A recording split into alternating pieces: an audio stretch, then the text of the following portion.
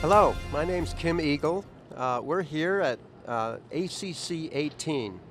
I have a couple of guests with me today talking about the clinical trials in the area of heart failure and transplantation today. I have Raghavan Baliga from Ohio State and Monica Colvin from the University of Michigan.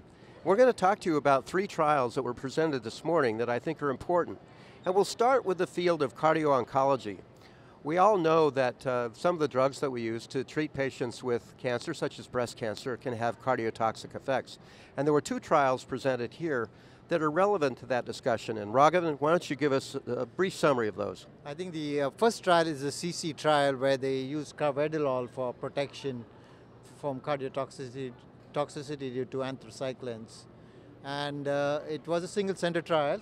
It was one of the largest randomized trials. Pre the previous trials were all non-randomized, so this was an important study from the fact that it was randomized, and they randomized the patients to carvedilol uh, with the anthracycline therapy, and it was for um, the anthracycline, the whole chemotherapy regimen was for 20 weeks, and they followed up these patients up for 24 weeks, that's six months, and then there will be longer term follow-up in two years. Okay.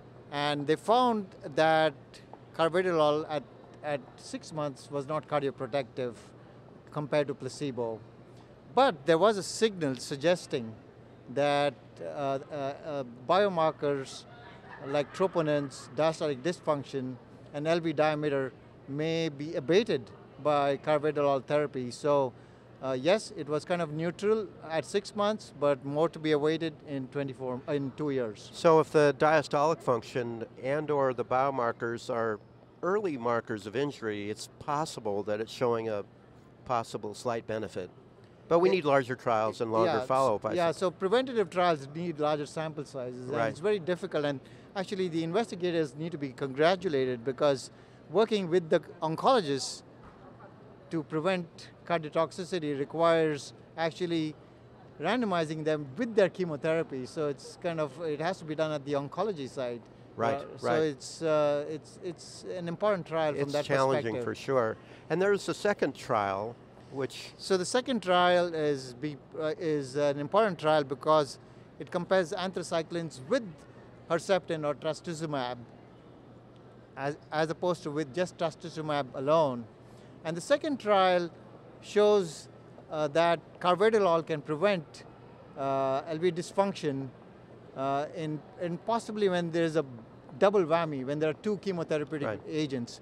But with only one chemotherapeutic agent, that is um, trastuzumab, the impact was neutral again. So it was uh, both lisinopril and the beta blocker had a signal of benefit if the patients got two chemotherapeutic drugs for breast cancer.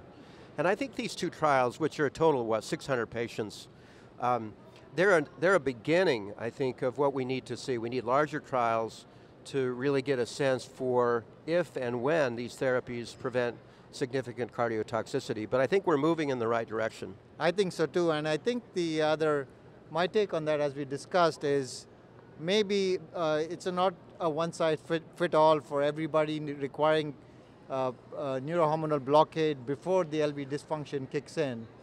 Uh, and, and both the studies are important because they didn't include anyone with hypertension, ischemic heart disease, like in the real world, many right. of the patients have it. And in the, in the CECCY trial, 50% of the women were premenopausal and 50% were postmenopausal. Right. So they had a good distribution of patients. Right. Uh, and yes, it is the largest trial, but for prevention, we may need a bigger sample size. So patient selection will remain an issue, and we need uh, bigger studies that are powered to give us the endpoints that we really want. But it's a step in the right direction, yeah, I think. So they need to be congratulated for, yeah. for their contributions today. You know, every now and then there's a huge advance in the area of device support for the failing hearts, and this meeting has one of those trials, and it's called Momentum. So Monica, tell us about that trial. Well, the Momentum 3 trial is a very exciting trial for advanced heart failure. Um, this trial compared the HeartMate 3 device, which is a fully magnetically levitated centrifugal flow pump, to the HeartMate 2, which is an axial flow pump.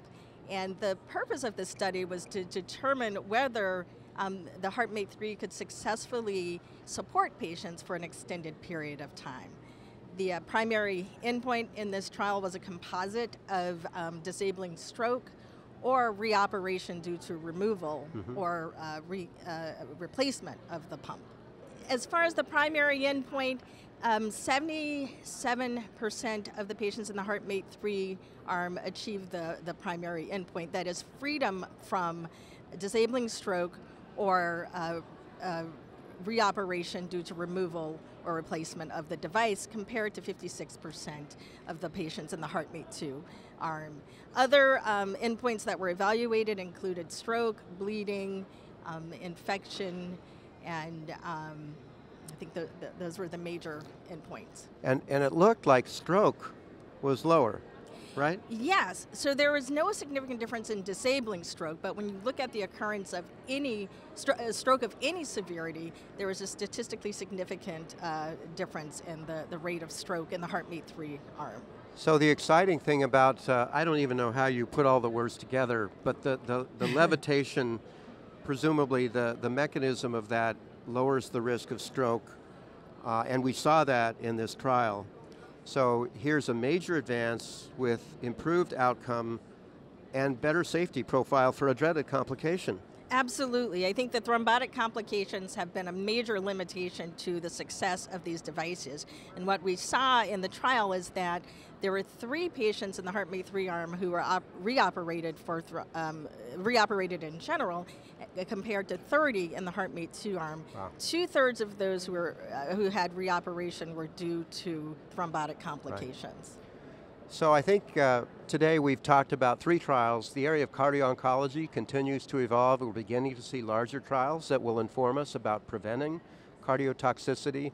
Momentum 3, as discussed by Monica, this is a landmark, um, landmark trial. It's going to change practice right away. And I want to thank you both for uh, joining me today at ACC 18. Thank you. Thank you. Thank you.